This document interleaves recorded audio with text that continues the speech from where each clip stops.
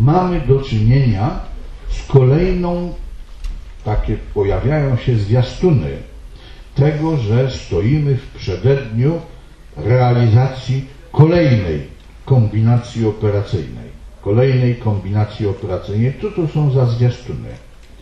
No właśnie przed kilkoma dniami y, kilka organizacji obrony praw człowieka zwróciło się do Jana Klaudiusza Junckera takim żądaniem, żeby Komisja Europejska zrobiła porządek w Polsce, dlatego że w Polsce notorycznie łamane są prawa człowieka. No, mieliśmy do czynienia z takimi dwoma spektakularnymi przykładami, jak Państwo wiecie, Sebastian K., 21-letni, który zajechał drogę rządowej limuzynie wiodącej panią premier Szydło, został uznany za męczennika za demokrację.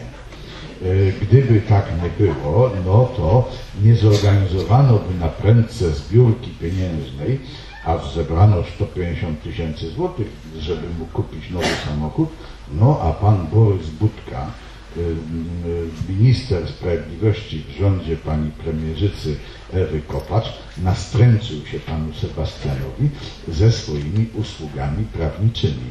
Więc widać wyraźnie, że pan Sebastianka został uznany za męczennika za demokrację. Drugim takim męczennikiem za demokrację został Arkadiusz Eł. Arkadiusz Eł, wynalazca metody okradania starszych osób y, metodą na wnuczka.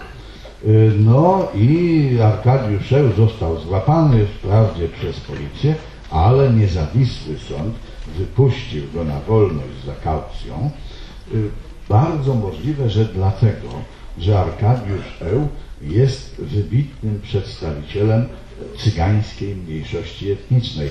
Więc niezawisły sąd najwyraźniej przestraszył się, że zostanie posądzony o jakieś rasistowskie y, pobudki, czy też y, jakieś etniczne tu nienawiści, no więc na wszelki wypadek go wypuścił na wolność. To wywołało y, konsternację nie tylko opinii publicznej, ale sfer rządowych, no i następny niezawisły sąd powinność swej służby zrozumiał i postanowił zamknąć pana Arkadiusza w areszcie. Ale szukaj wiatru w polu. Pan Arkadiusz nie czekał, aż niezawisły sąd się namyśli. No i teraz mamy tu problem, bo wprawdzie on też jest męczennikiem za demokrację, więc Państwo widzicie przynajmniej dwa przykłady takiego męczeństwa, a jakby tego było mało, no to jeszcze mamy do czynienia z męczeństwem drzew. Za sprawą ministra Szyszki nastąpiła rzeź drzew. I na co Gazeta Wyborcza zareagowała alergicznie. Najwyraźniej środowisko związane z Gazetą Wyborczą musiało uważać te drzewa już za własne. Po rozmowach, jakie pan prezydent Duda niedawno przeprowadził w konsulacie polskim w Nowym Jorku z przedstawicielami rozmaitych żydowskich organizacji, no to takie przekonanie być może już nie było bezpodstawne. No a skoro tu cudzą, naszą własność tu wycinają, no to jakżeż to tak wygląda? To jest po prostu męczeństwo. To widać, że demokracja i praworządność tutaj są zagrożone.